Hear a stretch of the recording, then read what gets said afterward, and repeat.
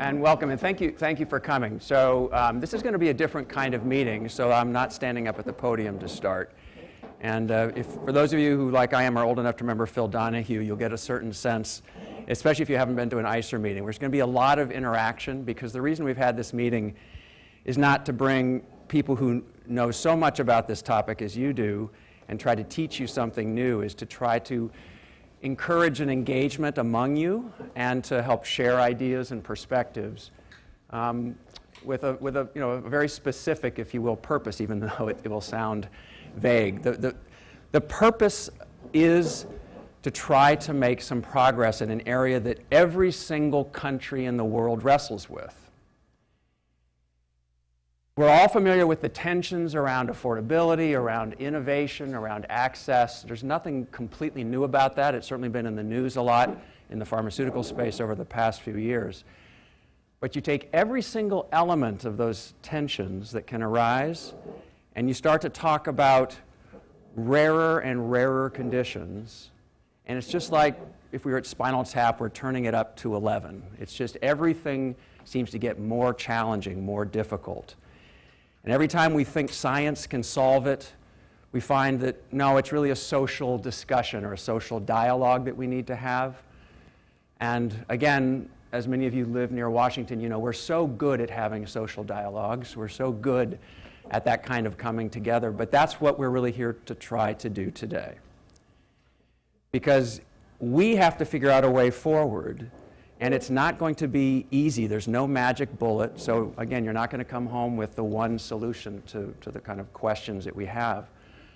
But I hope that we'll all have a chance to share, again, the perspectives, the experience, um, the real world lived experience of patients, of families, the experience of payers working with their clients and trying to figure out how to cover and to provide these, these medicines for clinicians for caring for patients and of innovators who struggle in the space to try to figure out how to raise the funds, how to keep the pipelines going, and how to make real progress for patients and for society. So that's, that's what we're here to try to do. I'd like to thank the Kaiser Permanente Total, uh, Health, sorry, Center for Total Health for hosting us here today. For those of you who haven't been here before, it's really a, a wonderful space. And I encourage you to, to take a, a stroll on the back corridors here because you'll see some great uh, examples of the ways that health can be considered from a very holistic and broad perspective um, in, in, ways that I think are, are, quite helpful to see. Just from a housekeeping perspective, the bathrooms are through a little corridor on the back here. You'll see the signs, and then you go through this glass door and you turn left and just keep following the signs, and you'll find the, the, the restrooms there. So I have a lot more thanks uh, as we go through, but initially, again, thanks to the people who've traveled a long way to be here. Um, and I'd also like to thank, I think I have this as the first slide. Actually, I'm not sure where I'm supposed to point this. what would Phil Donahue do? There we go. Maybe someone did that for me. Thanks. So first, an, an overview of the day. So we're going to spend about a half hour doing uh, goal setting. And then there's going to be an overview of the briefing paper that I know most of you have received and have probably looked at um, prior to coming up. So uh, Dr. Dan Ollendorf and Rick Chapman from ICER will uh, be giving a brief overview of that. And then we're going to break the rest of the day into four issues. And there will be panelists who are going to come up. But again, it's going to be a very different kind of meeting because none of them has a presentation to give you. There won't be slides. We're going to grapple with very specific issues around, first, with contextual considerations and the ethical issues that, in some way, kind of frame the entire discussion of the day. Then we're going to have a discussion specifically on the evidence generation and assessment related to judgments about comparative clinical effectiveness of drugs for rare and ultra rare conditions. We're going to talk about other benefits or disadvantages. Now, some of the terminology here uh, is explicitly um, selfish. it's related to ICER's view of a value framework in which we have clinical effectiveness, we have incremental long term cost effectiveness, we have these other benefits or disadvantages which we consider to be elements that you want to think about when you're making judgments of value, but that might fall outside of the information that you gain through clinical trials and through a model of incremental cost effectiveness. So we want to talk about those specifically in the context of, of or- orphan and ultra-orphan uh, drugs. Issue four will be price, cost effectiveness, and affordability. We figured we would leave, uh, in some sense, the juiciest topic in some people's minds towards the end because setting it up and making sure that we get the building blocks is, is really important. And the very last session will be an open, again, an open discussion among us all about, um, if not specific solutions, are there any guiding principles for the assessment of the value of, of orphan drugs? It's going to be very hard. We're not, again, hoping to come away with any kind of formal consensus, but we'd really like to get your thoughts to help steer groups like ICER and many others. All of you in, are in some way are involved in some judgments about value.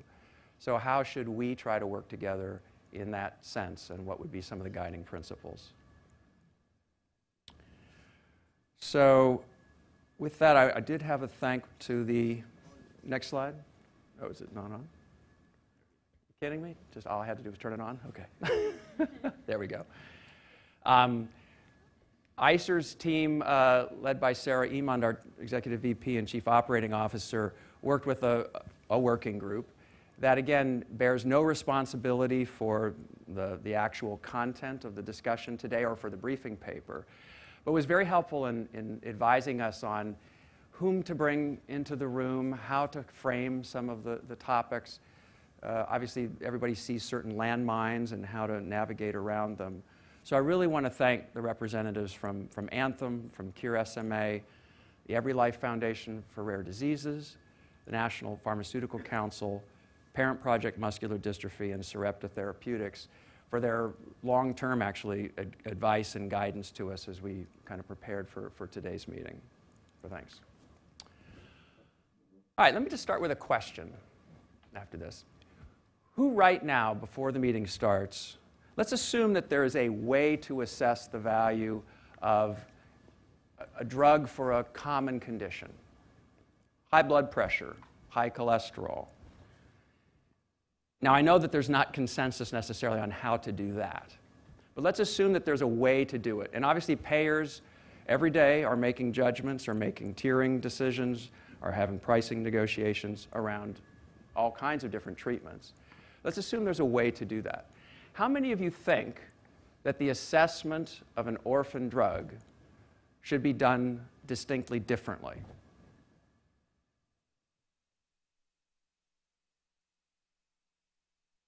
How many of you think that it should be done the same way, that there's no reason to make a major distinction? All right. So I would, if I had to hazard a guess, I would say three quarters, one quarter, at least at the beginning of the room, maybe of the day, maybe two thirds, one third. And we'll talk a lot about this, obviously, because this is part of the, of the goal for today, which is to think about this fact. And believe me, we are going to talk about what's orphan and what's ultra orphan. Maybe we should do that first. We all know from the, from the paper you've read that, and we'll hear, hear more about it, but in the US, the FDA considers orphan to be anything less than a prevalence of 200,000 individuals. When you really think about it, that's a big spectrum. That could mean anything from, a, from 1,000 to 199,000 patients. So we all know that people will sometimes use the term ultra orphan or ultra rare. Does anybody have a good idea of how to make that distinction on the, on the face of it? Here I come, don't be shy. John Watkins. Well, you, actually, each table has a, has a microphone. I'll be interested in how you guys have self sorted your, yourselves into these tables. But please introduce yourself, by the way, and your organization, and we'll get to know each other through the course Hi, of the day. John Watkins, Premera Blue Cross. I usually think in terms of 10 to 20,000 prevalence in the U.S. So anything below 20,000 ish would be ultra orphan. Yes, and you did point out in the briefing paper the issue of prevalence being driven by, partially by survival. Mm-hmm. So with the SMA type 1, for example, you would have a higher prevalence if they lived longer. Okay. Uh, Well, actually, we'll we'll go back to the back table and we'll come back to Alan. Yes. I think it may be in the eye of the beholder. Sorry, could you introduce yourself, please? Adam Warner from the Alpha One Foundation.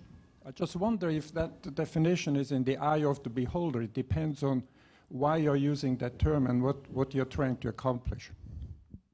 How, do you have any suggestions for, is, is there, is it useful to create a distinction? Because I know some people will probably feel that it may not be wise to try to make some distinction. And by distinction, I guess, since we're talking about how we're going to assess their value, that would be the operative function. And we haven't say how differently we're going to do it, if at all, but, Well, I personally don't think there should be a distinction. okay. But I have another question, and that is the definition of rare disease in general.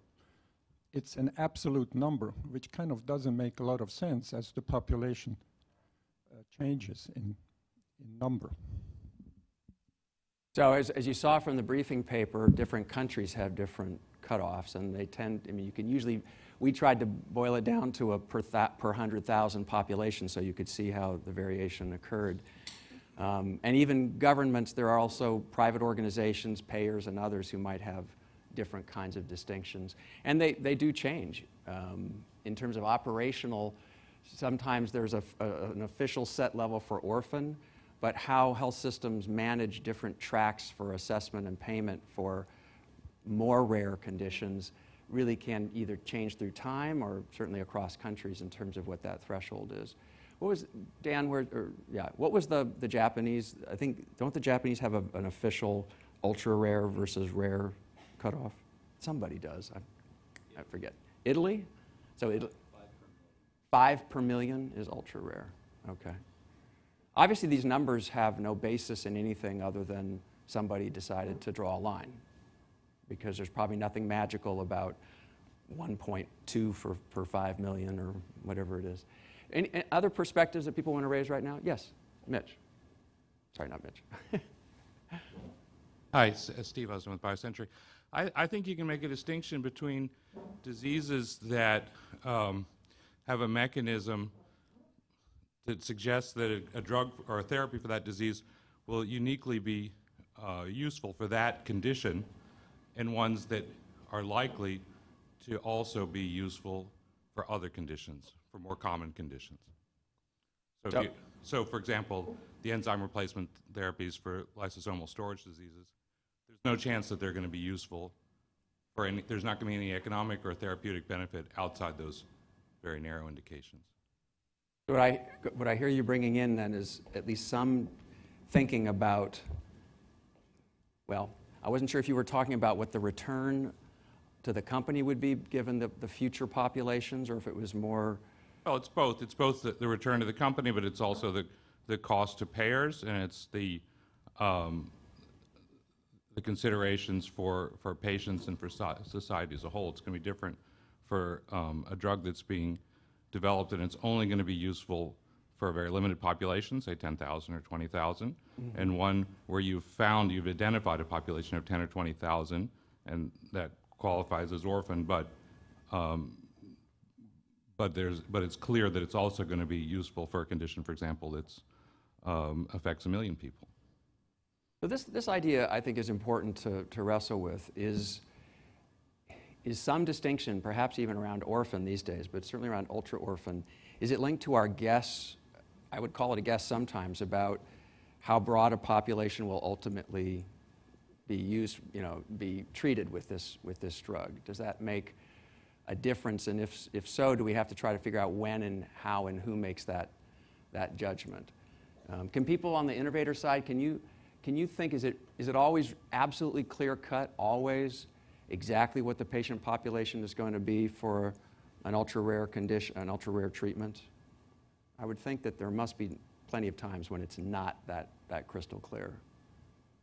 And especially with adaptive, with the whole idea of trying to get through the FDA and into practice with a, a relatively narrow indication and then kind of working from there, it seems that more and more will be faced with uh, kind of treatments, again, with perhaps a, what would, some people would call a narrow indication um, at the beginning, and that other people will wonder how broad it will get later. Alan, I- yeah, back to you. I was just going to expand on what the second responder said. I think it's uh, arbitrary uh, and it should be, it's really how you're Sorry, Alan. I apologize, I don't think, can you introduce yourself? I'm sorry, I Alan you are, Rosenberg, but- uh, uh, Vice President for Medical and Clinical Pharmacy Policy for Anthem. Um, And I think it's an arbitrary cutoff, and so I think about how it gets used for, you know, doing research. Uh, And when we look at policy, if you have a disease with 50 people or 500 people, you expect a different level of uh, ability to enroll people in an RCT than for a disease with 100,000 or 200,000 people.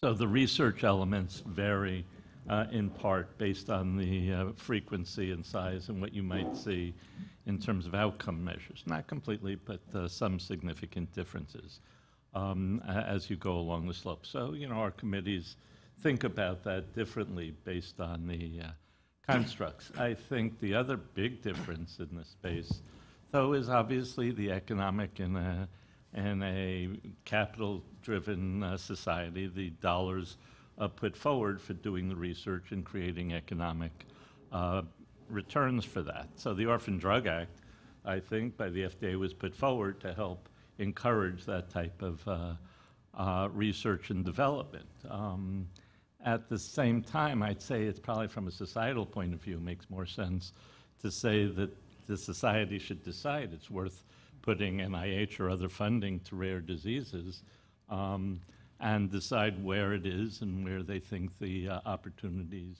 But it's a resource, a research-based question of where do we put our resources.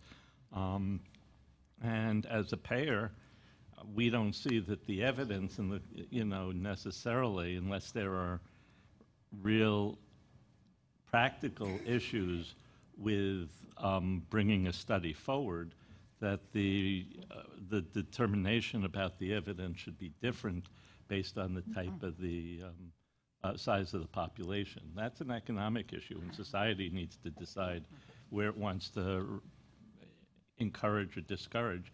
And any number is then random. Is that, that my kid has a disease with uh, 50,000 and we've called ultra rare 10,000? Does that make me happy that we're favoring diseases with 10,000 or fewer uh, individuals? No. If I have a kid who's got 2,000 uh, in a population of 2,000, I'll be upset that there aren't resources put to it. And society needs to address that issue. All right. I feel like opening up a jar, not a swear jar, but a jar in which every time somebody says society, we'll have to decide, we, we put a dollar in and we'll see where we'll get to by the end of the day. I'll put in 10 right now. Yes. So my comments are, uh, my name is Perry Shieh from UCLA. Thanks. I'm a clinician. Um, So uh, my comments are fairly similar, but I think, I think it's, it's the, the purpose behind defining something as orphan is, is the, the idea of, is inherently the idea of incentivizing research um, in, in these rare diseases. And so I think that, you know, what we want to call rare has to do with what we think might potentially be ignored, you know, if, if you have a completely, if I can use the term, level playing field financially, you know. Um, So that's, that's kind of where the orphan concept comes from, I believe. All right. I just wanted to point out, I know we tried not to be too uh, kind of uh, heavy on the materials, but at each of your tables, we decided just to create a small chart, just for people to refer to ad, ad hoc. But it shows, um, the, it just does multiplication, the annual cost of a treatment, different levels of 1,000, 10,000, and 100,000 patients, and what the revenue would be if you multiply that annual cost by that number of patients. So to the extent that some of the discussion will focus back on what incentives are needed for innovation, um, we just thought it would be helpful to at least have some of the math done on the table for you. Yes, Michael. Yes, uh, hi, Michael Sherman, Harvard Pilgrim Healthcare. So um, back to how do I think about orphan versus ultra orphan, and let me come at it from an- a different angle, from a different lens. So the numbers are fine and they have some meaning, but what has more meaning in terms of what I do every day is thinking about the impact on our population. So we're a mid-sized plan, about 1.3 million lives. So we treat um, I, I would, I guess the orphan-like category, as was mentioned, there was wide variations in the numbers below um, 200,000. But there are those, um, cystic fibrosis would be an example, where we have um, somewhere between 50 and 100 of our members on CF drugs. So that's something where we can kind of treat it like other diseases. There's, there, there's trials, there's evidence we're used to looking at. We, we can develop standard policies and apply them pretty uniformly. Um, when I hear ultra orphan, uh, in my mind, that, that speaks to cases where we may have one or two or, or no individuals. I'm thinking about some of the prevalences of some of the um, upcoming gene therapies, for example, or some other very rare diseases. In that case, it's very hard for us to get our arms around the evidence. Um, um, i- in part, and we'll ta- I know we'll talk about this because it's tough to do traditional clinical trials, but it also means that we don't really have enough members to even think about how do we apply it uniformly, and it becomes less of a um, pure evidence and more of an individual um, process, uh, what we call individual consideration, uh, which is a great answer by, by the way when the press asks, what are you, how are you treating this? It's, it's, uh, seems to be a very safe answer these days. But, uh, but the reality is we do look at the evidence as best we can at the individual, at other factors, um, whether it is, you know, um, I don't know whether it should be a factor, but to the extent if we have one or two, the, the extent to which they're self or fully insured may lead to a discussion with the sponsor, with a self-insured employer explaining the situation. So it, it feels like we treat them differently by virtue of just having to, based on the different numbers. Do you think it would be that different if you were a much larger health plan and even on the, the prevalence, you suddenly had 20, 30 of these patients? Is it, is it literally just a scaling issue or is it? I, th- I think it's both. I mean, it is, it is, it's hard if you have one or two um, members, and this may, I mean, uh, this has broader implications even for smaller health plans that may have very limited with, with um, treatments, whether it's CAR T, gene therapy, et cetera, that involve centers as well, that they won't have the expertise to develop relationships with the COEs. But even beyond that, forgetting the scaling issue, um, you still run into the same issue that with the ultra rare is the types of evidence and the quality of evidence that you're used to looking at that can give you a greater sense of comfort that you're doing the right thing may not exist. I mean, again, for uh, the lack of randomized clinical trials, which could take many, many, many years to do, which might create ethical quandaries in terms of the people who aren't benefiting. Right. So it, it can be tough to find the right balance there between, again, the, the access affordability issue that we frequently think about as payers.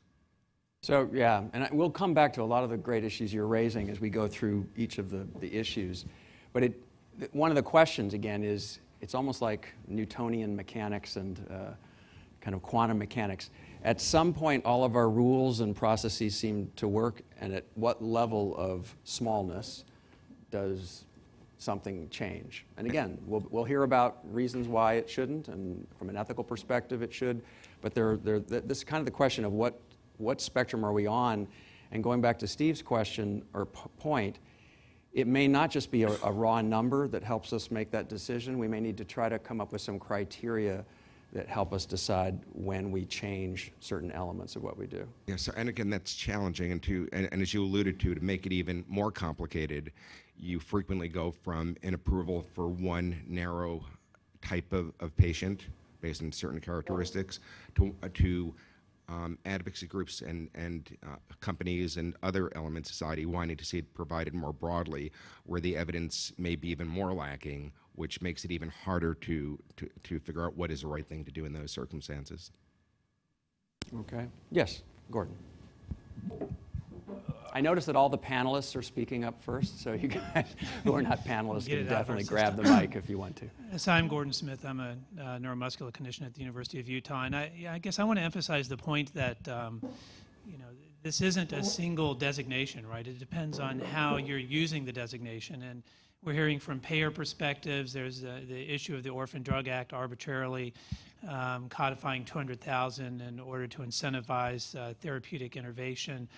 You know, I'll give you another example um, via NeuroNEXT, which is an NINDS-funded clinical trials network, which is designed to fund phase two clinical trials. And one might imagine that a number of the trials that we're asked to consider are for rare diseases, but um, how do you um, um, consider a phase two trial in a disease where there are 5,000 or 500 patients versus 200,000 patients? And so we've had discussions on the executive committee on what's our what's our threshold, and I don't know that we've used the term ultra orphan, although we may have, and I can't remember the number we came up with, but we came up with a different number um, than the the standard designation, so that we can fund trials that are phase two, three, recognizing that there aren't enough patients with many of these very rare diseases to do sequential phase two and three trials. And so the point is that the definition is in the eye of the beholder and, and how it's going to be uh, applied, it seems to me.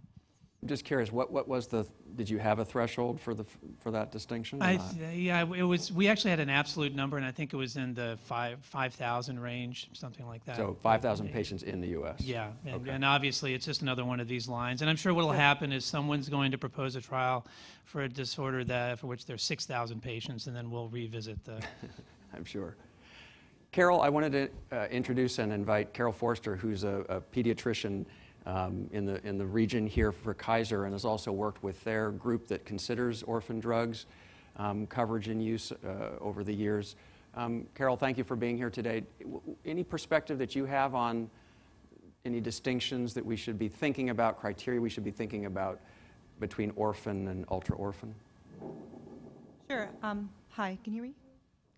Hi, I'm actually the um, Director of Pharmacy and uh, Therapeutics and Medication Safety for the Mid-Atlantic Permanente Medical Group.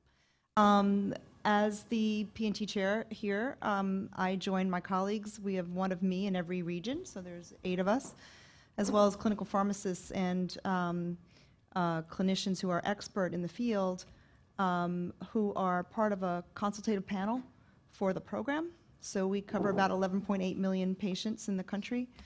Um, and we felt it was important to have an emerging, emerging therapies consultative panel to um, be able to clinically, this is physician group, clinically review uh, patients who are candidates for these new therapies. And it's not really um, looking at it in the terms of an orphan drug, it's really looking at it in terms of making sure that they are going to receive the best quality of care and that we're choosing the patients wisely and that we have the clinical criteria correct so that we are not wasting anyone's money and that we are appropriately taking care of them and not exposing them to any unnecessary risk with drugs that maybe didn't have a lot of evidence or clinical trials behind them. And yet they do maybe in theory have some great benefit. So we we felt it was a, so our approaches really didn't change to evaluating drugs but yet we needed to modify them a little bit because, as was already mentioned, the population here is so small in some of these instances. Now, we have 11.8 million members, but that still might mean we only have 30 patients. So, um, you know, it, it all depends on the, on the disease state, of course. So we did have to modify what we do for, uh, but, but it's kind of still the same in that we are using clinical expertise as much as possible. All of our regions have some clinical experts in, in, in particular niches like pediatric, PM&R, neurology, clinical genetics, et cetera, et cetera. And we bring those folks all together so that if a region doesn't have a particular specialist, they can share the wealth of the expertise we have in the rest of the country. So, so we, we modified our processes a little bit, but we, we're still kind of doing the same thing. Does that answer the question? Kind of. no, it sounds like in some way you have an organized uh, individual consideration process. I mean, I'm, you know, to, to kind of bl- bridge the two. Um, you're treating them as individual patients, and, and as you said, bringing the different experts and the different policies into the room to talk about individual cases. So that's interesting. All right. I want to introduce one other thing. I seem to have gone backwards before we um, have an overview of, of the paper. So, and this again is to help kind of frame, this is, this is exactly the kind of discussion we want to have, and I, I think we'll circle back because as we talk more about the potential differences in how we might approach value assessment, this issue of how and when we decide to, to send a drug assessment down a different track, if you will, we'll kind of, we'll have to revisit this question of, is there a useful distinction between orphan and ultra orphan, and if so, how to make it? So I guess I want to make the point that when, when we at ICER at least think of the appraisal of ultra-orphan drugs, We think of there being a clinical and economic assessment. If you will, even though, you know, the economic assessment, there are assumptions always built in because it has to go long term. To a certain extent, this is just the facts, ma'am. That's what this is. Then we have these other benefits and contextual considerations that we include as discussion points, and if there's evidence, we certainly cover that within our report. And then our reports are meant, obviously, for multiple purposes, but there is a lot of discussion and focus on their use for price negotiation, coverage, and payment. Now, basically, ICER's role is at this intersection here. I mean, we do this, and we have to do something around identifying, clarifying, and putting into our reports a discussion about these other factors. And here, again, we'll talk about these during, during the day. What are the other benefits? Are there, is there anything different about the other benefits for orphan or ultra orphan than for other conditions? Same for, oops, same for considerations of uh, contextual issues. So the question for us is, if we are going to do something different, do we adjust our standards for the strength of evidence? So ICER has an approach. You know, we think about what you know strong evidence is. We actually have a matrix that says what our certainty is and the net health benefit. Do we somehow take on board, given a certain rarity, we should have a different way of thinking about what good evidence is in our judgments? Similarly, you know, we have thresholds, we have ranges that we discuss for what we consider to be reasonable pricing or pre- reasonable value given the long term benefits to patients. Do we ourselves adjust that when we report out and when we certainly use our reports to suggest value based price benchmarks? Another question is that when we have each of our reports discussed by an independent counsel in a public meeting, we guide them very much to wrestle with all of this and to focus a lot on their consideration of other benefits and the contextual considerations. Do we tell them that they should give some priority for rarity? Or do we let them as individuals make their own decision? We have a council, usually it's around 15 to 18 people. And do we tell them or do we let them think about this? Now, obviously, both innovators and payers will be thinking about all of this themselves. And when they do price negotiation, when they think about coverage, you've heard discussions of that from some of the payers, and also different payment um, mechanisms. There'll be questions about what they do. So, this is the selfish part of, of the day. I'd love to get some thoughts by the end of the day on whether ICER should change anything at all because we could still assume that there should be changes, but it should be the role of the innovator and the payer, or maybe at the CEPAC level. But ICER should just keep doing what it's doing, and people who assess the value should put that out, just like it would be for a common condition. Here's what we think of the evidence for a rare condition, over to other people to make adjustments. Or do we, again, do we take some of this on board, if you will, ourselves? Do we adjust? Do we modulate? Do we comment in some specific way as we, whoops, as we feed this kind of forward? So we'll look for your thoughts on that. So it's not just what we do, but who does it by we, not just kind of what is changed, if anything. So we'll talk a lot about what those changes should be, but also think about when it should happen and by whom. Because somewhere in here, that, that's, that's, if we're going to change anything, it's going to have to be parsed so that we're clear. Because the last thing we want to do is to not be clear. It could be that, again, we decide not to change anything here, but we want to be very clear where that adjustment might happen or, or what. All right, so think about that. And it's time, though, I'd like to introduce uh, Dr. Dan Ollendorf, ICER's Chief Scientific Officer, who's going to give us a, a, brief overview of the briefing paper that you've got, and again, highlight the things that we think will be most important for the discussion later today. And he'll also join me in front of the panel there. Can you hear me? Oh, oh good. Thank you, Steve. So, um, Both Rick Chapman, our Director of Health Economics, and I will talk about the briefing paper today, and hopefully you've had a chance to uh, at least read through some of it before, but I'll go over some of the major themes. Um, those of you who are familiar with ICER reports will hopefully appreciate that I think for the first time in our history, we actually made something brief. So, um, oh, okay, here we go.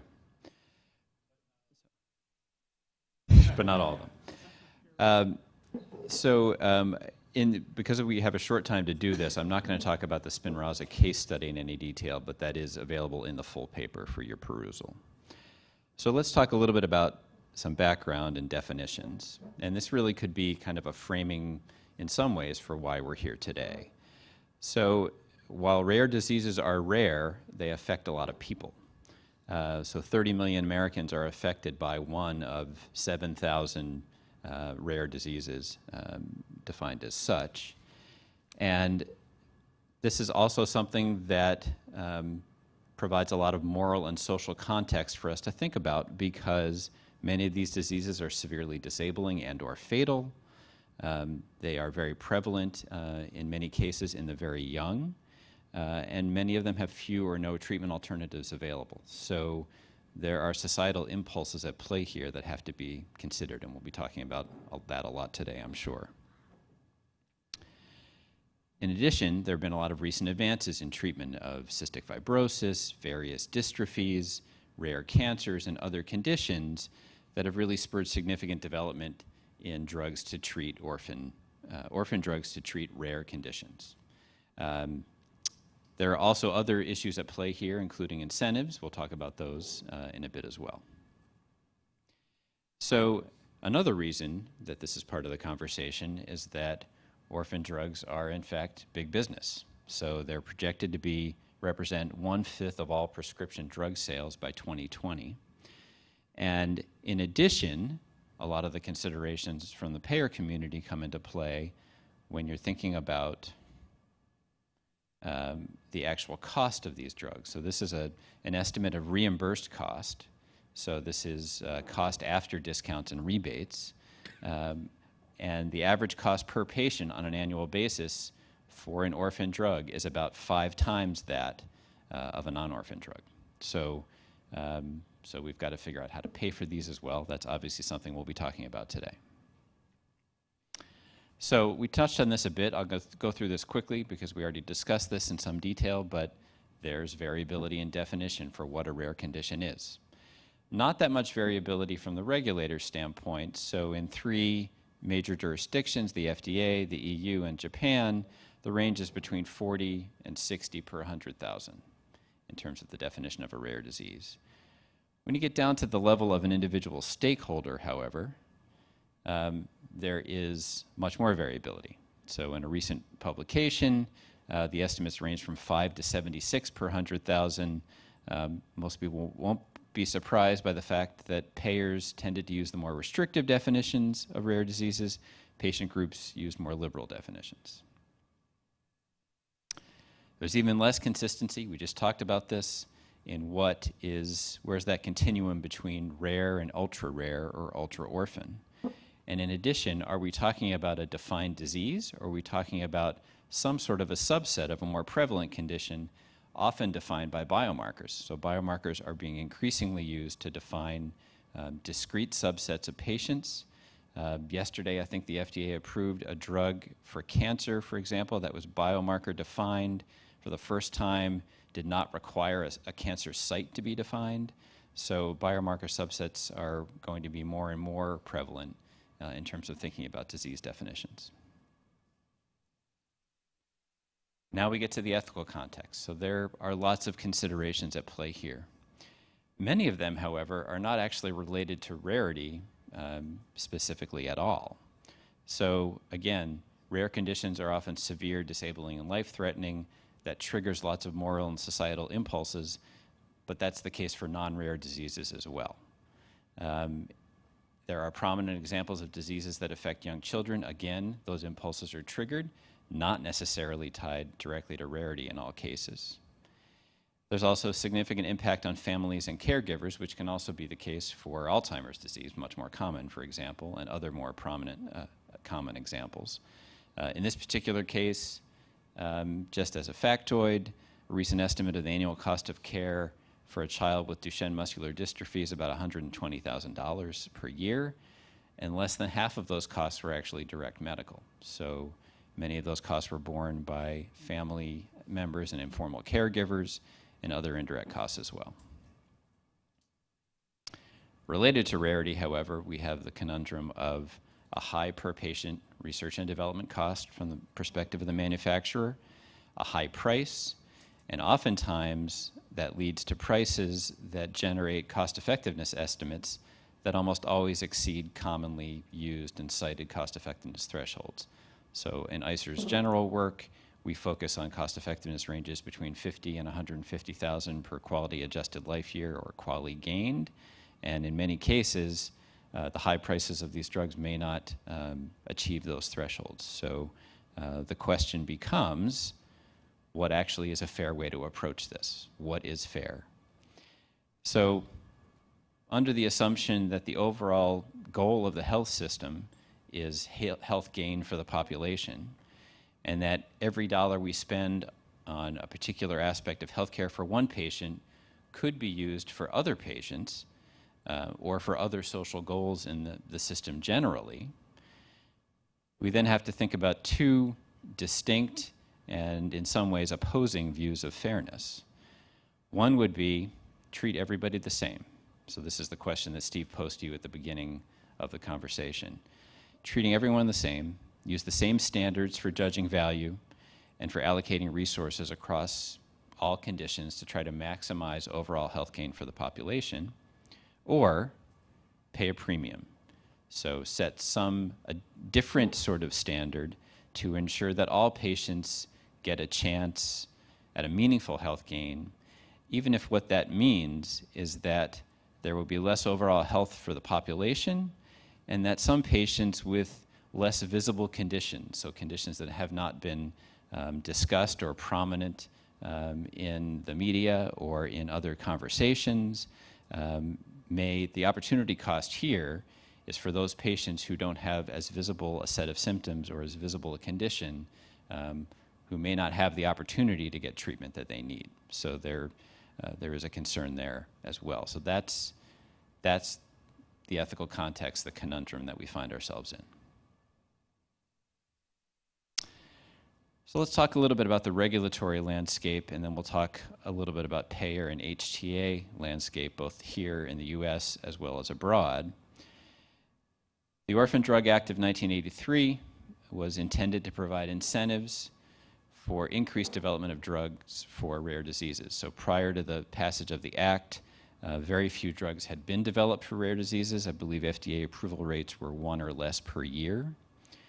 Um, and when this act was passed, um, there were incentives provided to manufacturers, R&D tax credits, uh, extended market exclusivity, research grants for phase one through three clinical trials, uh, user fee waivers as well. Uh, a similar set of incentives has been developed in the EU. As a result of the Orphan Drug Act here, we now have over 600 drugs approved using the orphan designation. So that rate of approval is now about 20 per year on average. Faster approvals as well. So the FDA has a number of fast track processes for approval, and many drugs with orphan designations go through one or more of these accelerated pathways. And increased use of surrogate outcomes. Now, in some cases, surrogate outcomes are really all that can be measured for a particular condition. Um, but we're seeing that with this faster approval, uh, we have shortened duration of clinical trials in some settings and increased use of surrogates as well. So challenges in understanding the evidence base when approaching it from a traditional standpoint. So there have been some concerns about abuses of the Orphan Drug Act as well. So most prominently, uh, three Republican sen senators have initiated a process where the Government Accountability Office is conducting an investigation to understand whether manufacturers are using uh, the multiple indication allowance in the Orphan Drug Act to exploit the incentives. uh, essentially to get an orphan designation, get all of those incentives, but end up using the drug in much more prevalent populations. So some concerns there as well. So turning to the payer and HTA landscape, and first in thinking about the U.S. specifically, um, private U.S. payers, a recent survey that was actually highlighted in the briefing paper, um, suggested that commercial payers were concerned about the growing number of orphan approvals and the potential cost implications associated with that, and they have no clue about what to do. So uh, they're not really sure how to create a process for economic evaluation um, to try to understand and deal with these situations. Um, so there's not a lot of um, strategy around how to try to deal with this.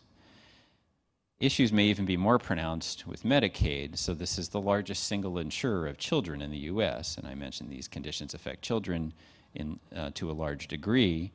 Um, 11 of the 50, 50 costliest drugs to Medicaid in a recent survey um, had achieved orphan drug status at some point in their development. So orphan drugs represent a big um, uh, bottom line issue for Medicaid already. Medicaid, state-based system with federal supplementation that um, has had budgets coming under increased pressure uh, from a, a variety of angles. And in fact, we're also facing the potential for those budgets to be cut even further uh, in the current environment. And so uh, there are challenges that are going to be uh, in place for Medicaid now and, and for the foreseeable future. Um, Medicaid is allowed to use techniques like prior authorization to try to manage the costs of drugs, um, but statutorily, they are required to allow use of drugs uh, within the, the approved indi indication by the FDA. And there have been some legal challenges to uh, Medicaid prior authoriz authorization criteria in the rare disease space uh, because it's felt that some, in some cases these challenges have gone over the top. So a recent example in Arkansas, a cystic fibrosis drug prior authorization criteria that required use of older, less effective treatments first uh, before this uh, particular agent for a specific subset of the CF population. That was overturned in court. So let's turn to international efforts, and I've got some um, kind of focus on the approach that's um, used by a number of different countries and how that varies. On this slide, on the next slide, I've got some data to show um, how the difference in approaches actually correlates with assessment rates for orphan drugs. So in England, there has been formalized assessment of drugs for, I guess, what could be defined as ultra rare conditions, a prevalence of 1 in 50,000. Um, but the, uh, the HTA body, the National Institute for Health and Care Excellence in the UK, um, has had historically low assessment rates, about three drugs per year, with orphan status evaluated. There's always been thinking around contextual factors that go beyond uh, traditional assessments in non-orphan areas so the impact of disease on patients and caregivers, the benefits outside of the National Health Service or social care that might be part of the use of a particular drug. And now there's a newly proposed approach where NICE will actually increase the threshold for cost effectiveness for drugs considered under this highly specialized technologies program to be about four to five times higher than their threshold for non-orphan conditions. We'll also weight substantial gains in quality adjusted life years that might be apparent from use of a drug. Um, so extra weighting applied to those clinical benefits. But then also sub uh, subject orphan drugs and non-orphan drugs for that matter to a budget impact threshold that the National Health Service will use. Um, so that is uh, something that's in the process of implementation now. In other situations, things are a little bit less formalized. So Sweden has a, a, a philosophy for approaching um, health technology assessment of any drug, whether that's orphan or non-orphan, that has three principles applied to it. So a human dignity principle, a needs solidarity principle, and cost effectiveness. So essentially, uh, there's a requirement that um, individuals who might be disadvantaged with um, a rare condition have consideration of the severity of that condition and the disabling potential of that condition that might provide extra weight in the assessor's mind. There's not really a standard or a threshold for that assessment, uh, but that is something that has to be considered um, in all situations. But uh, this is not something that could be considered at an unlimited cost. So cost effectiveness uh, is as important a principle um, as the other two.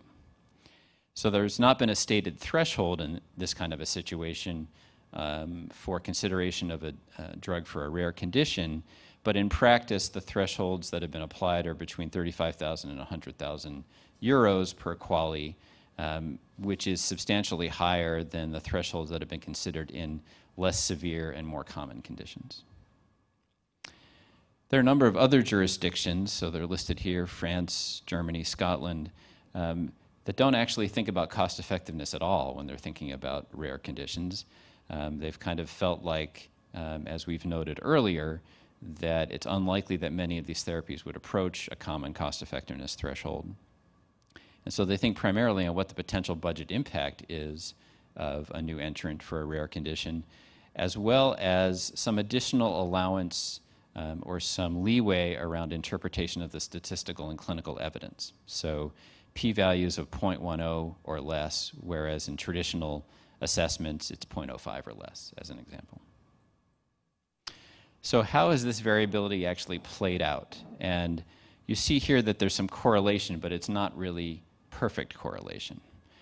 So this is a, a, review of the activity level of HTA organizations in eight European countries uh, for the 101 orphan drugs that, that were approved by the European Medicines Agency over a 13-year period.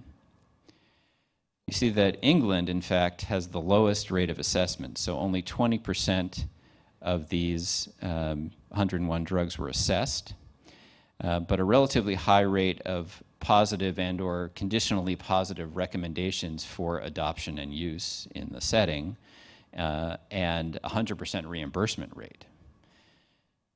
As you move down the chain a bit, you see Sweden actually has a very has a higher rate of assessment, um, a very high rate of positive or conditionally positive recommendations, and also 100% reimbursement rate. But when you get into the settings where the uh, conditions or the, the um, interpretation of the data is a little bit more loose, so France, for example, which again doesn't have a cost effectiveness approach, looks at budget impact and some statistical leeway only. High rate of assessment, 74%. Of those, 94% were recommended for positive or conditionally positive uh, use in the, the country, but only 28% were reimbursed. So um, again, not a perfect correlation, but there is definitely an interplay here that we need to think about between um, the volume or throughput that an organization um, like one of these or like ours needs to think about, as well as um, if they're going to be positive recommendations, what the ultimate reality is in terms of uh, the ability to reimburse for those drugs. So let me turn it over to Rick for the next segment, and then I guess we can both take questions if there's time. Thanks, Dan. I'm going to spend a few minutes talking about some of the methodological issues that arise in the economic evaluation of treatments for rare diseases. So some challenges with the clinical evidence. Um, clinical inputs are often difficult to obtain with great certainty because for a lot of these diseases, there's a lack of standard patient-reported outcome measures or patient-centered outcome measures. There's often difficulties in validating surrogate outcomes which may need to be used for some of these diseases. Uh, because these diseases are, are so rare, especially for ultra rare conditions, there may not be good standardization on what usual standard care is, so it may be hard to find comparators for some treatments. And uh, for a lot of these treatments, there may be no novel mechanisms of action that raise questions of long-term effects and safety, especially given the short duration of trials for a lot of these treatments. All of these different factors and, and the small numbers of patients that are available for study lead to often to greater uncertainty around these treatments. Uh, and this is sometimes exacerbated by the shorter accelerated approvals that uh, these treatments go through. So all of that can lead to wider confidence intervals and more uncertainty around uh, the, the net health benefits of treatments. Um, that may be offset to some extent by a greater societal tolerance for risk. Uh, we may be able to accept greater risk for certain groups of patients uh, given this uncertainty and lack of uh, available treatments and the unmet need for these conditions. Um, and there may be some thought that the budget impact, uh, because of the small numbers of patients, uh, will not be that, that high uh, if it does turn out that the net health benefit is not what was expected.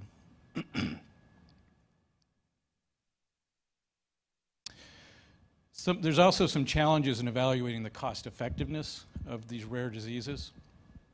As I mentioned, there's, there's often greater uncertainty in the clinical effectiveness and the outcomes from that. Uh, and in quality of life, uh, we've heard that these, these diseases often impact young children or infants. It's very difficult to evaluate quality of life for these types of uh, populations.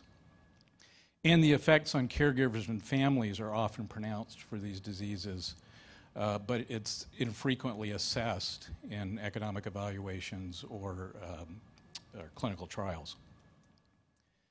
Cost, uh, because these conditions are so rare, the patterns of spending for patients over time may not be very well known.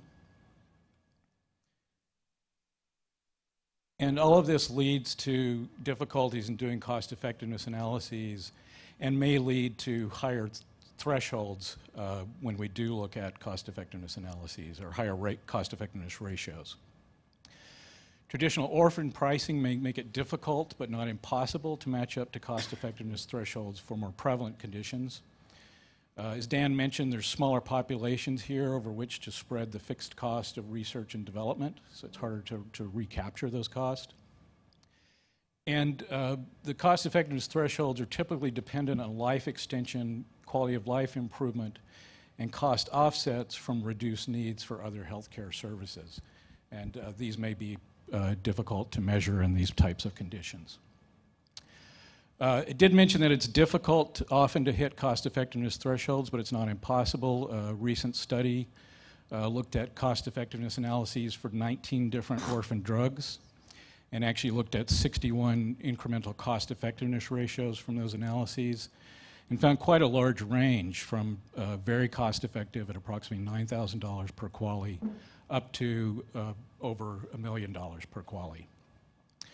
Uh, but interesting, the medi- interestingly, the median qu- uh, ICER here was $55,000 per QALY, and 10 of the 19 drugs would have been considered cost effective at NICE's threshold of 30,000 pounds per QALY.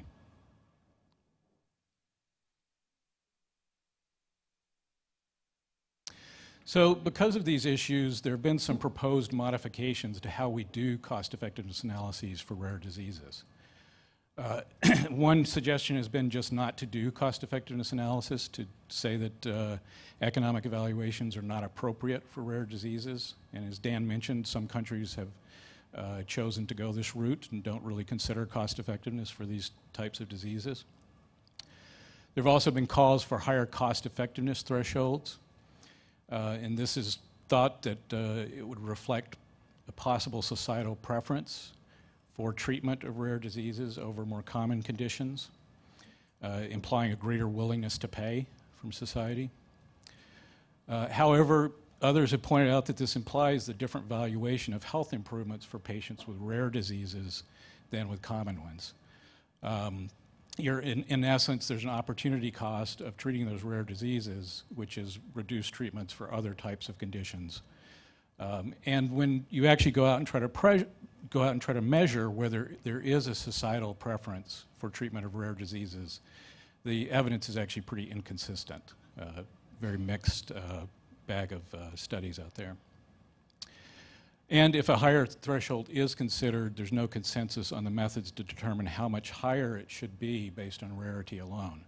And uh, I will point out that usually when a different threshold is, uh, is, is put out there, it's usually only one threshold which doesn't vary by the rarity of the disease or the severity of the disease.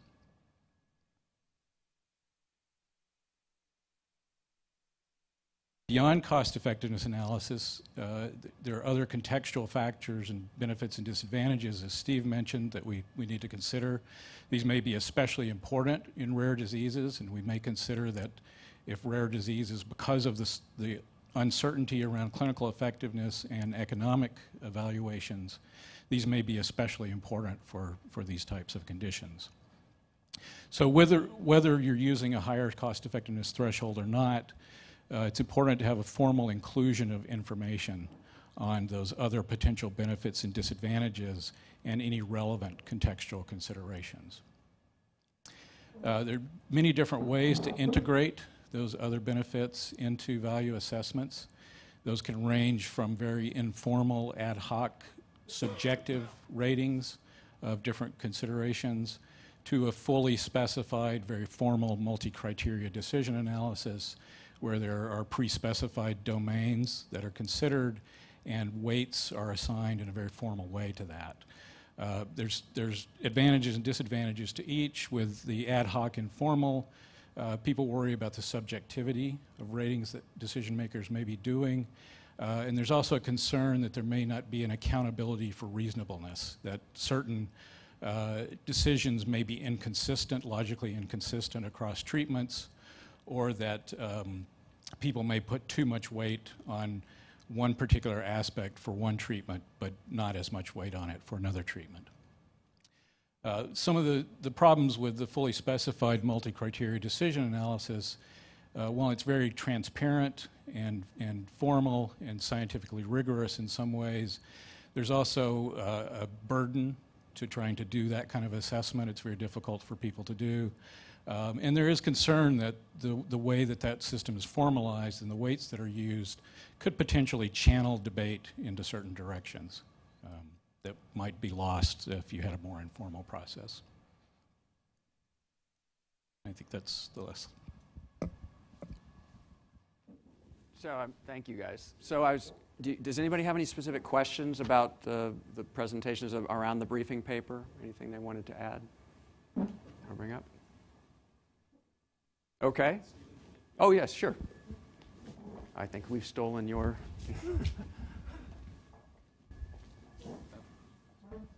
Thank you. Maybe this was your uh, effort to keep me, uh, keep me quiet at the meeting. I'm not putting a mic on this table.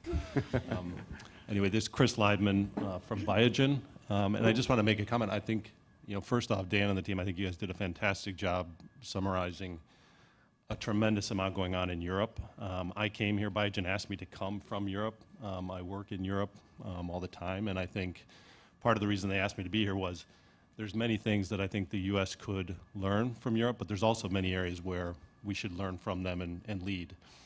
And I think the one area that, um, Dan, you summarized some of the CEA focus.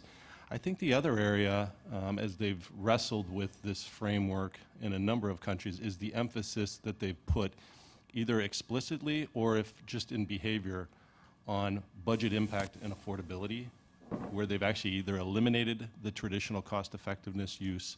And I think um, in your paper and even in your summary, you did a nice job of elucidating some of the limits of standard economic technique as it relates specifically to rare.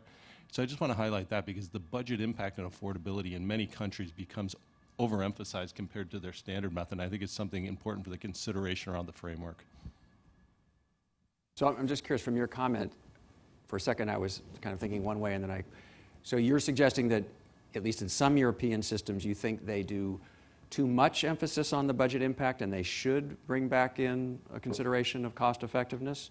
Or do you think, you think the lesson to be learned from Europe is to think about leaving cost effectiveness and just talking about budget impact?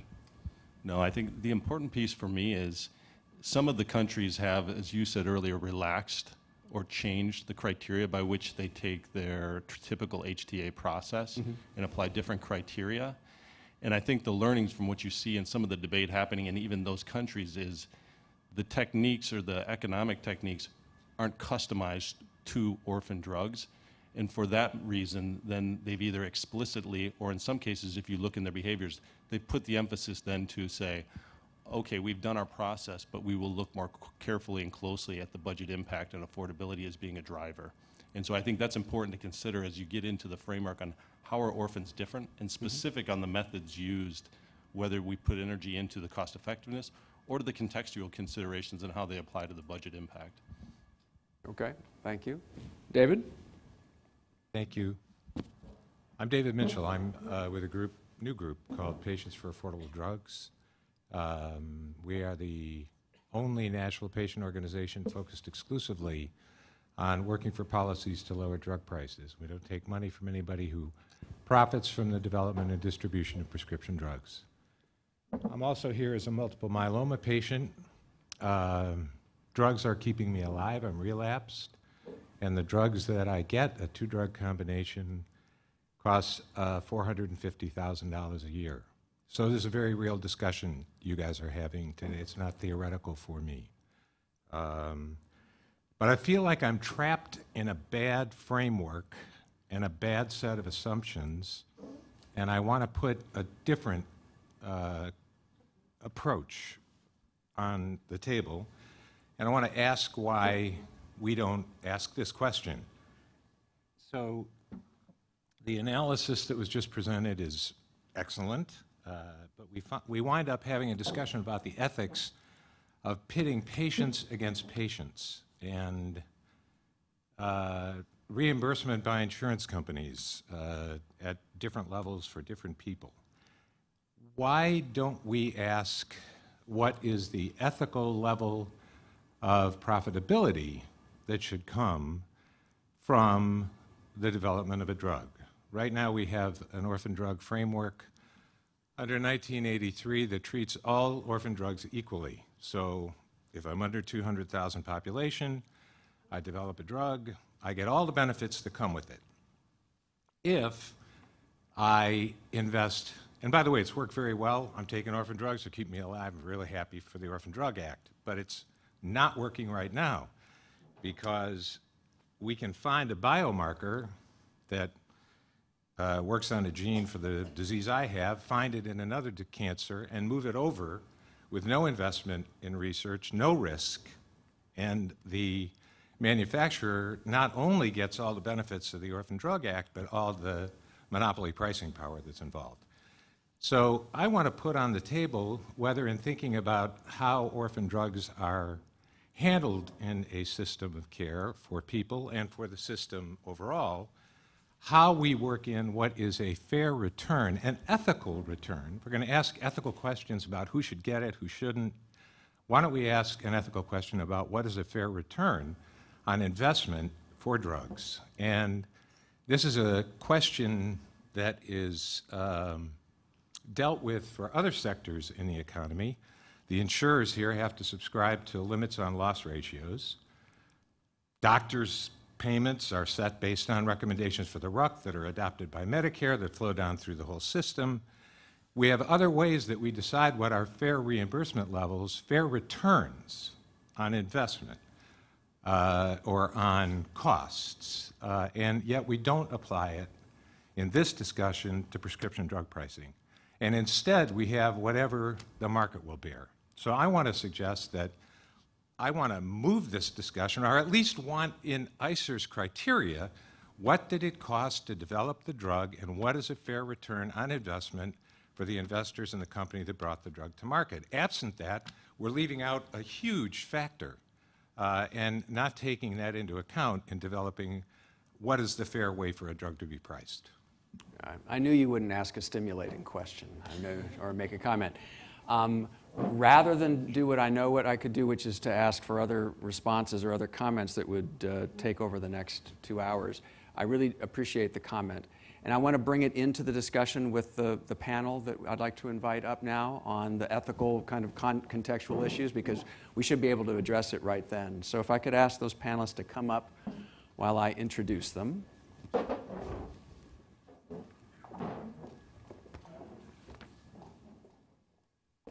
So do we have, yeah, you guys go ahead and,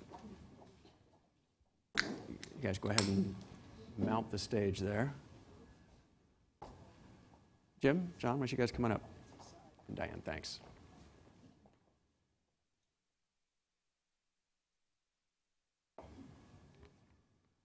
All right.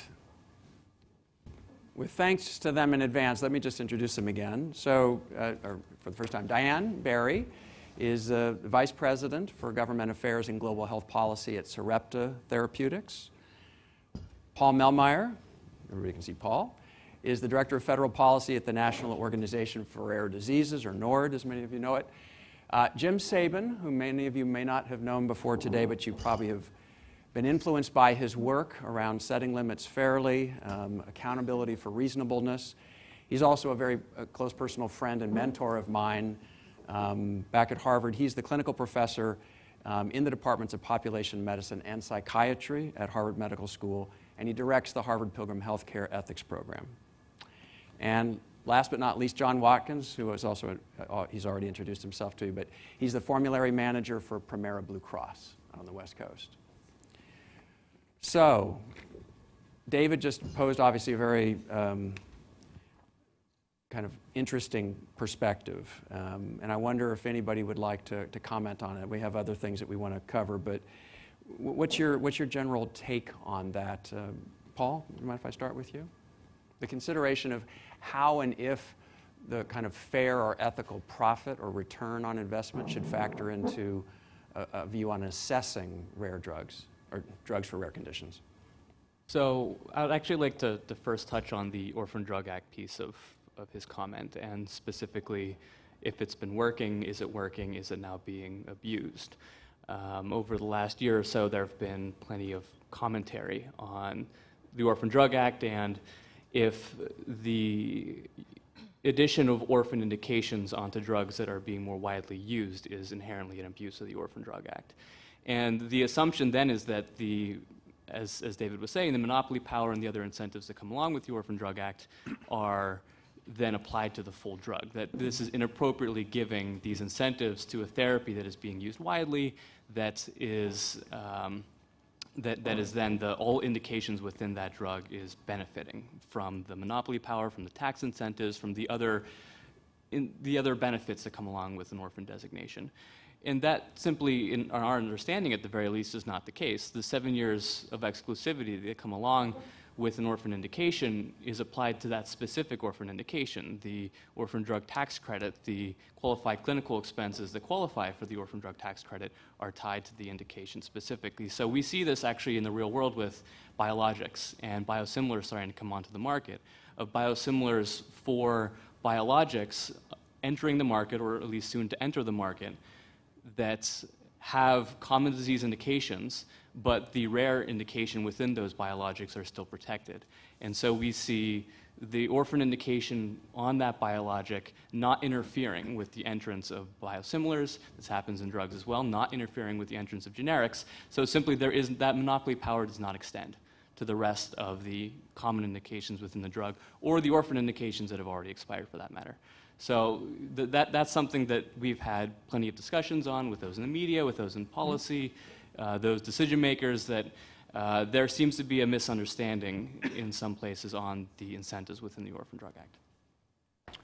I probably don't want to take us down that uh, discussion line, but we, we can circle back to it, I think.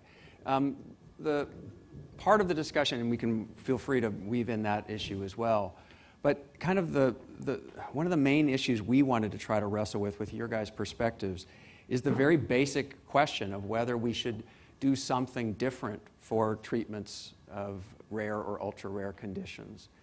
Um, from an ethical perspective, what are the reasons to do that, and what are the reasons not to do that? Um, Jim, can I invite you? Because I know you've been part of Many of you will remember human growth hormone and some of the earliest kind of orphan treatments way back when, before they were probably even called that. Um, but from the years of your experience and, and, and, knowledge of the kind of the ethical landscape, what, are, what do you think are the strongest arguments for and against treating these treatments differently? Well, the, the issue that uh, ICER has framed for us today really goes back millennia because it's the basic it's the basic issue of individual needs and population needs. And th- this is at the core of what our species has to deal with. So there's nothing new about this, but it's totally highlighted by orphan drugs uh, and even by the term orphan, which conjures up the view of the vulnerable individual as it, as it should. So the basic conflict is uh, we're committed to fair access for individuals. A compassionate society uh, tries to leave no one out from the potential of full opportunity. And at the same time, a society is full of a wide range of needs uh, which can be swallowed up by large expenditures around individuals. So there's nothing more fundamental than this, than this conflict. Just to put it into uh, just the context of work that I and my colleague at the Harvard School of Public Health, Norm Daniels, did. Uh, when we set out to study the limit setting process, we asked medical directors and other leaders of, of organizations, how can we be useful? They said, give us a gold standard that tells us what we should cover and what we shouldn't. And what we concluded is what Steve said earlier today there isn't a gold standard. What societies need, and what we're doing here today, is uh, processes for grappling with this irreducible conflict. It won't go away. It's not like an issue that goes to a jury where a decision is made and that's it, it's done with. Uh, it's, a, it's an ongoing learning curve. So, Steve, I won't say more now. You can guide us as you wish. Well, we'll head in different directions. Diane, what are your thoughts about this different or not different? Do you want to be treated differently by, uh, I mean, do you feel like you're being treated differently by FDA? Do you feel like when FDA looks at a package of clinical information, um, do they bend? I, you know, the word standard is very tough to use in Washington because no one wants to think that standards are changing without it being explicitly designated as such. But we've heard, and we'll hear more about the, the, the clinical packages that come into the payers and the assessors. Do you feel like it is being treated differently? It should be treated differently um, from, a, from a kind of ethical or larger contextual consideration? I do, absolutely. Um, hopefully, you can hear me. Um, I, I do think FDA is taking into account the contextual considerations as they should around rare diseases and ultra rare diseases. I think, um, I mean, if you just look at accelerated approval, um, you know, let me just clarify there is one single standard all medicines have to meet, one single standard for safety and efficacy. Um, now, the regulators have developed mechanisms to allow for flexibility in, in achieving that standard and, and, how they look at different types and quantity of, of evidence. Um, and I, so, you know, I do think they're, they're, they're doing it right. They're looking at different contextual considerations like understanding the disease, um, which means like accounting for the severity and the rarity of the disease, whether there's therapeutic options available. And actually, this was codified by Congress in, in the FDASIA legislation of 2012, um, which codified accelerated approval and encouraged its broader use uh, to rare diseases. And, you know, basically told FDA you have to account for these additional factors in granting accelerated approval while still maintaining your standards for safety and efficacy. So definitely understanding the disease is one of the considerations. Um, understanding the impact on patients, looking at the, the patient needs and, and, the burdens on the patients and families. And this is another thing that I think FDA is really embracing. Um, can, I just, can I just interject? sure. That sounds like we should have that for all conditions. Understanding the disease, understanding the impact on families, whether there are other treatments available. What's special about being rare? Um, well, I think one of the defining characteristics of many rare diseases is um, they're severe and progressive. Um, it, you're, you're going to have a, what's unique is the small number, and it makes it harder to generate the typical evidence that you know payers or regulators would like to see from large randomized uh, controlled trials. Um, and so I think this is where some of the flexibility has to come in in looking at the different types of inputs um, beyond the clinical evidence. And, and, you know, as I was saying before, patient input is an important thing. And I think everything that FDA is doing uh, in accounting for these contextual considerations, I, I think the, the kind of the payer and the assessment environment too could benefit from looking at those uh, considerations as well. All right, so? So John, uh, people may not know that in your formulary design, you have explicit consideration of social and ethical values, do you call them, or issues? So I'd, I'd love your perspective on rarity. Um, are, are we conflating rarity with severity, with other things, or, or is it all one package? How, how do you grapple with it, and how do you see it? Certainly a factor. I think, first of all, my background is clinical. I just have 2 million patients now instead of a much smaller number that I used to have, but I care about them at the individual level. And even in a relatively common disease like that is serious, you can take more common type of cancer, for example. It doesn't qualify as an orphan disease, and yet you may have two people with the same chart medically that have completely different goals for the remainder of their life. They may have a year or two of expected survival. What do you want to do with that? What's important to you? And unfortunately, the price of these things has driven to a point where it forces us to be more and more restrictive. And that's where I think if we could moderate the pricing, a lot of these issues would be less. So to answer your question, we have a um, formulary process that includes a consideration of cost effectiveness. Uh, we have, first of all, we have thresholds, yes, but they're flexible thresholds, which means that the committee, which consists of a mixture of clinicians and health economists and a couple of people who are both, uh, as well as we have a lay member in that group too. But they consider contextual factors. We actually, interestingly, we have a value framework of our own which predated ICER's but has many of the same components that your list of contextual factors and other considerations is a bit longer, but we would look at those in an individual case, and rarity is one of the factors that comes into it. There is a higher set of thresholds that these are used to determine tiering, and essentially it drops down one level. Um, if you have a, a rare disease, or a, we just call it special case circumstances. So it's up to the committee in a given situation to decide what that is.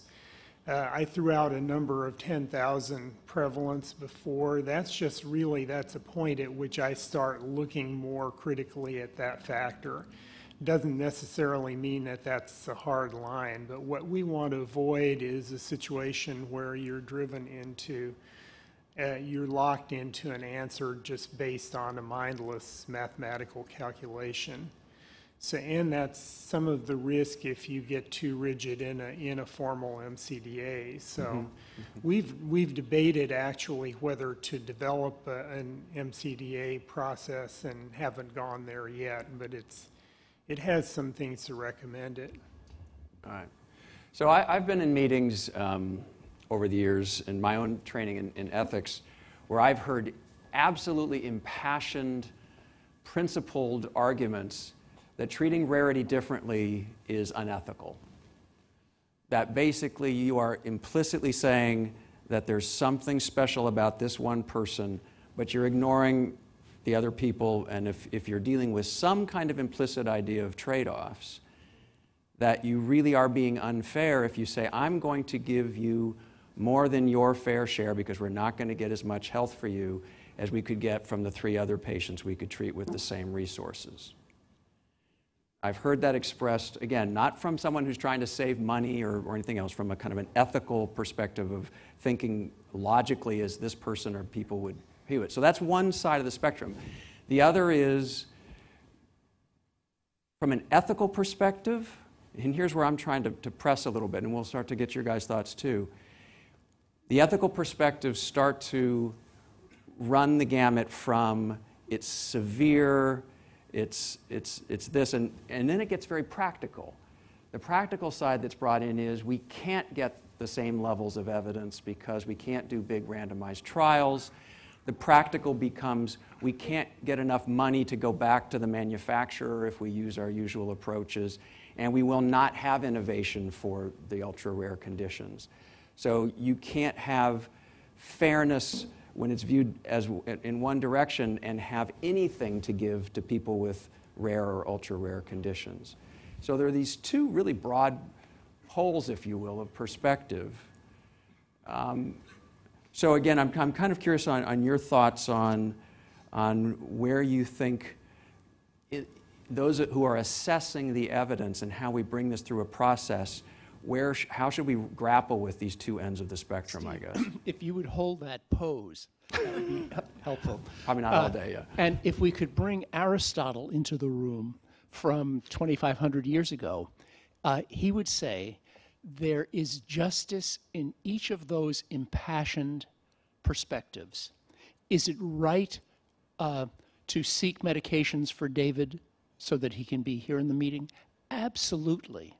And is it right to be concerned about the invisible people who might uh, suffer in ways that we don't see directly? Absolutely. So what what do we do? These this isn't good versus evil. It's good versus good. And Aristotle had a rather practical idea that has come down as the golden mean, uh, which essentially says we've got to pay attention to both, that an ethical society will not ch- choose one over the other. Uh, it will devote itself to both. So then what? I mean, that's nice in principle, but people have to take action. And there, um, my own specialty is psychiatry, so I bring in Freud. His concept of how change occurs. It doesn't occur in a linear lightning bolt strikes with the right answer. It occurs in a somewhat sloppy process that he called working through. And a- again, I go back to what David said, which, which is, I think, a nice example of what's at stake. He brought up uh, a perspective. Uh, he challenged us to think about that perspective. He connected it to personal experience.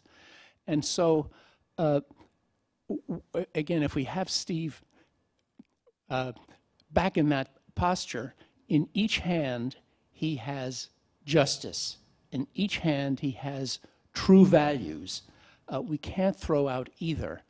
And we need to recognize both and recognize that this is an area of uncertainty. We, as John said, uh, we can't solve it mathematically. Mathematics can contribute, but it won't give the answer. And we have to uh, work through by taking uh, examples, doing the best we can, making decisions and learning from them and going on from there. And as Steve pointed out earlier, that's not a process that this country is terribly good at uh, uh, around our neighborhood these days. Good. At least you didn't call for a social dialogue. That's good. No, That's what we're trying to have. So, um, John, I'm, I actually am going to pick on you to also address, in a sense, David's comment, because his, his point, as I take it, is part of the contextual consideration maybe should be how much the drug company invested in developing the drug, how much, I mean, I'm not sure if you were considering actual profit or revenue, but the risk that they might have taken. Is that a contextual consideration that should drive a part of the decision-making around the value assessment of these drugs? I think it should be, and as I've looked at examples, until relatively recent times, that is more how healthcare has been priced. My great grandfather was a country doctor on the plains of the Midwest, and most of his patients were sharecroppers. Um, according to what one of his daughters wrote, their family was cash poor, but they had awfully good food to eat because people paid in whatever they had.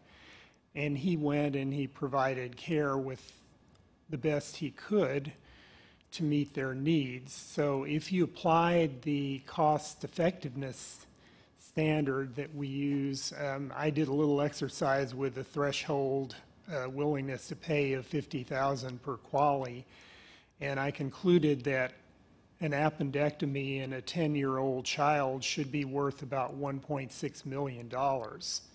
So we would bankrupt the healthcare system if we priced all life-saving interventions for children at that price. It might be severe infection with a relatively inexpensive antibiotic. You know, happens all the time. But we can't do that, and why should this be different is the question, if you can get a reasonable profit. And again, that begs the question what that is. But I think to me, rarity is less of an issue ethically than the severity of the condition. Um, common diseases that are very severe, classic example is HIV/AIDS. Uh, many of you are young enough that you don't remember life before effective antiretroviral therapy, but I watched patients die when I was clinical pharmacist. And it's heartbreaking, and then all of a sudden, within less than half a year, that, that world changed. People stopped dying. So those are large volume therapies, but they're very life-saving. I think we also need a question that has not been raised, I don't think yet, is, is the therapy real? We, we talk about a breakthrough designation that the FDA has. A breakthrough to me is not a breakthrough unless it actually breaks through something. So you can argue about a p-value of 0.05 versus 0.1. If a therapy is truly effective, you're not asking that question. The difference is obvious. And you will see statistical significance even with a pretty small n. Uh, you could have taken a small number of HIV patients and treated them effectively, and guess what? It, even relatively late stage patients are alive and doing well five years later, whereas they would have been dead. So when you see a large effect size, that's a factor. Yeah. I, we're going to come back to the effect size issue um, later in the day because, yeah, because some of yeah some of the some of the systems internationally have tried to figure out how to do cost effectiveness with, in a sense, a super weighting uh, to the QALYs gained if it's a major kind of improvement as opposed to an incremental improvement. So but, but that's a good point.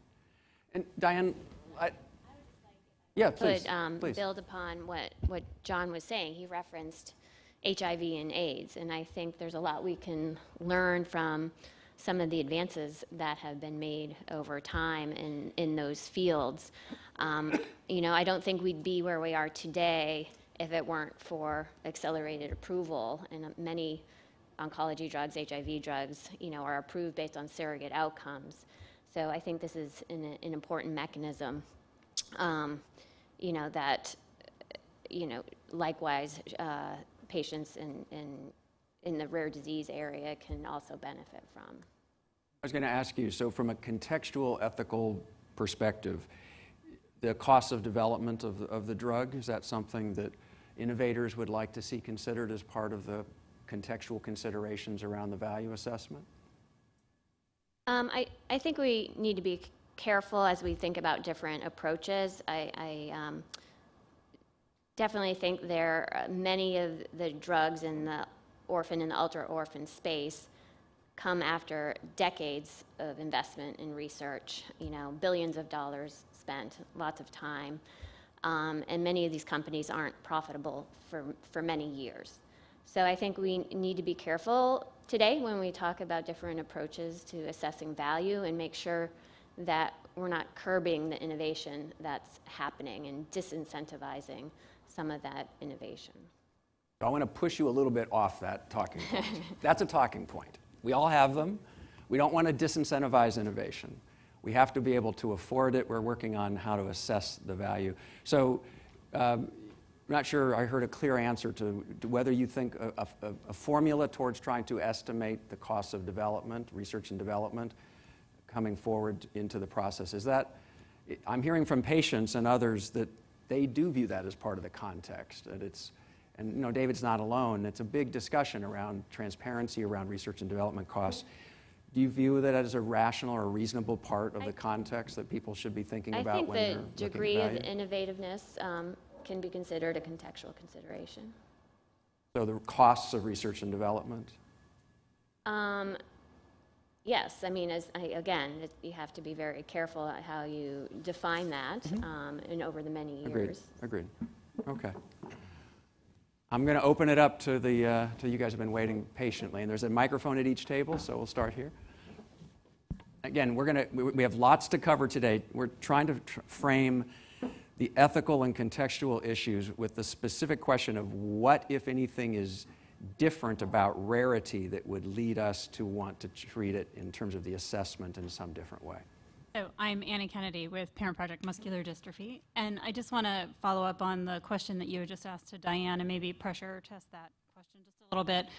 So there's um, legislation in or provision within 21st Century Cures called the Advancing Targeted Therapies provision, which allows for essentially platform therapies and there's guidance being written at the FDA for that. So in the case, so it allows for extrapolation. So in the case for, of Duchenne, for example, mm-hmm. if there is a targeted therapy for exon 51 amenable or exon 53 amenable, you don't have to start over at square one in development when you go to the rare exons. So it incentivizes development for the uber ultra rare mutations in rare disease. So just a question around how that would play out when you're talking about pricing considerations that, and I, I don't work in industry, but I would think then the subsequent trials and development using that platform technology would cost less money and wouldn't factor in the decades of development of that platform. And so then how would that play out? How would that play out? So would they, would the company then be able to take into consideration what went into that platform that then the rare exon built upon. So just something to toss into consideration because that's something hopefully we're going to see companies do as we get into these much rarer subsets of the population that would never ever have a therapy developed for them if these future incentives are utilized. So just a, something to question. Yeah. I know that today, in this setting, we're not going to be able to figure out how to price, not how to price, how to cost out research and development. Because you said it's very complicated. There are lots of different permutations to how this happens. So I, I think we're not, we're not going to try to work out the details. And anyways, it's just trying to get ideas on the table responding to this general It's instinct so about on a about similar costs. vein. So company A Sorry, with introduce yourself, please. Uh, Ala Hamid, Sanofi Genzyme. Uh, so company A has very efficient uh, manufacturing processes and very efficient R&D processes with lower cost of development and manufac- manufacturing. Company B have inefficient processes with higher development. Company A provides a drug that is true breakthrough, and company B with a so-so breakthrough. Will they become even if the higher cost offset the lower cost here? So back to the platform. Right. With platforms, you're more efficient. in- Right. uh, So we in- don't, in- right, so whatever, whatever process, and I know this is part of the background discussion around R&D costs, we don't want to send a signal to industry that the more expensive you can make your development, um, the the better you'll do in pricing or something like that, because that's, that's not the way we want it to work for Lockheed Martin and Boeing, and it's not the way we want it to work for, for anything that uh, the taxpayer is paying for at least. Yes, please. Yeah, hello. hello. Uh, my name is Donald Hahn at Pfizer. And um, I guess just to add to the discussion around demystifying the, the price of pharmaceuticals from orphan drugs, because many I can appreciate the, the public consumer is looking at the price of the medicine and saying, why is it $1,000? You know, help me understand the cost plus formula to get to that number. And what is often difficult to communicate, and I think hopefully this is a forum where we can demystify this, is for every one drug that comes to market, as we all- know here in the room, there's 33 others that failed in development at some form or another. And also, if you take an average, um, take a snapshot, and what is the average revenue that these orphan drugs are generating? And I would argue to say that it's about two to three, probably 250, 300 million dollars. And is that a fair return on investment when you look at the non-orphan space of returns around 500, 600 million on average?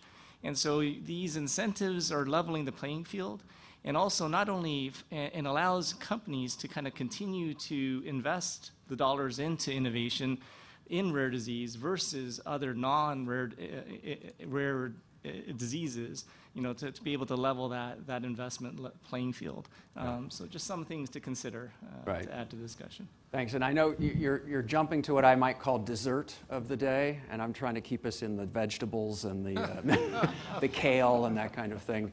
So, so we will get to, uh, the, the concluding session will be on the pricing and affordability conundrum. Um, and all of these issues, I'm sure we'll circle back. So at, at this point, again, uh, when, it, when it gets your thoughts further on a broader view of what the ethics of this situation suggest we should do with assessing value about rarity.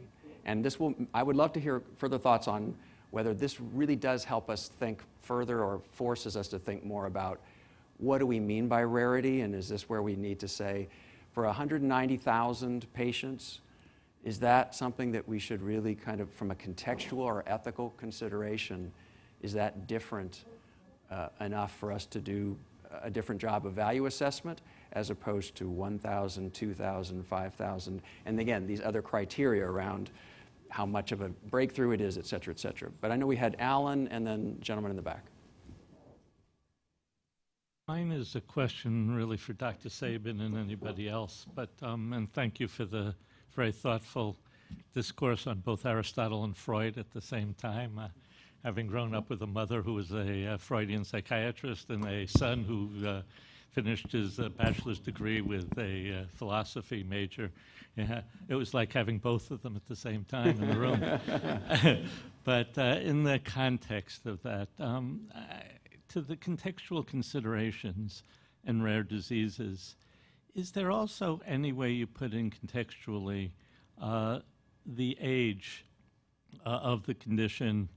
So, how do we structure it for a year of uh, living without pain for a five year old versus a 75 year old, or an extra year of life, not in perpetuity, but one extra year of life for a five year old versus a 70 year old? Have you, are there frameworks, have you considered the frameworks of how that connects to this issue? Well, we could bring your son uh, in here uh, to help us.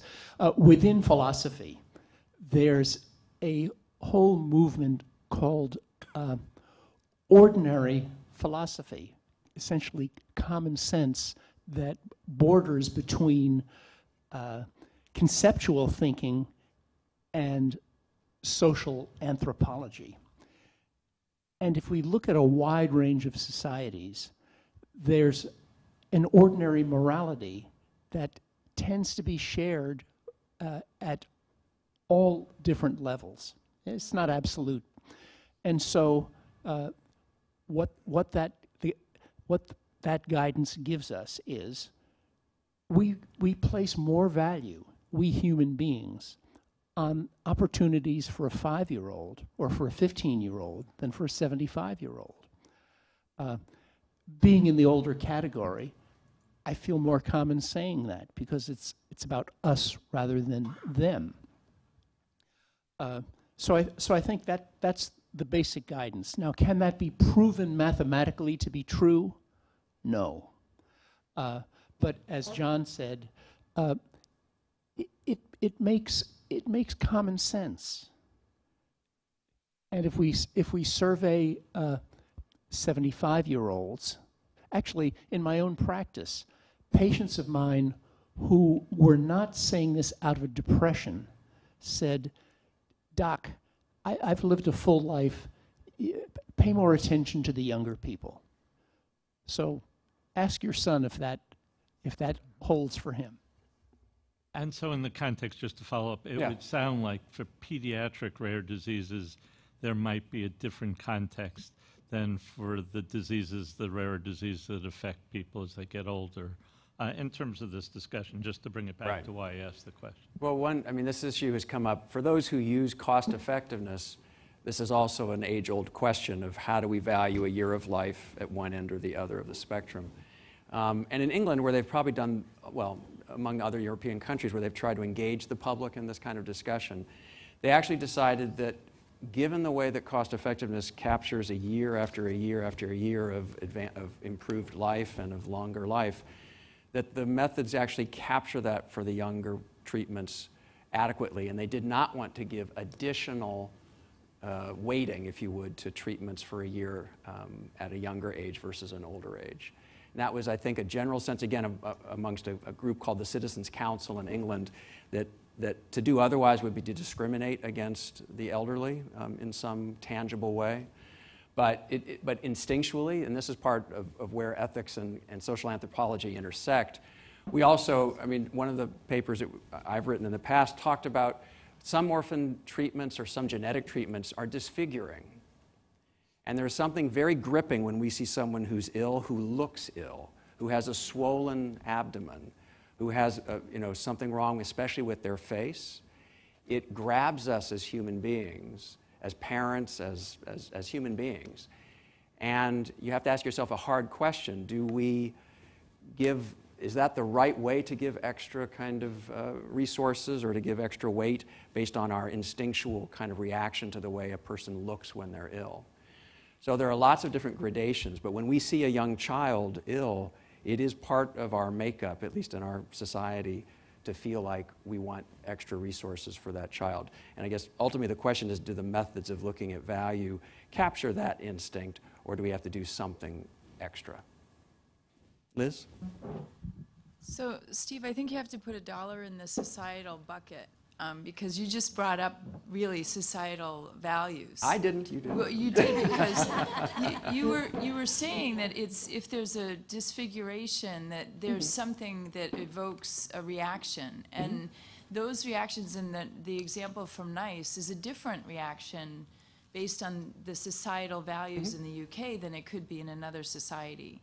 And I, I just want to, so I, I want to put that aside for a minute, but I think one thing that we, we started with with this panel was looking at the fairness, right? You had a, a slide up there, was if, what is considered fair? That is also determined at a societal level.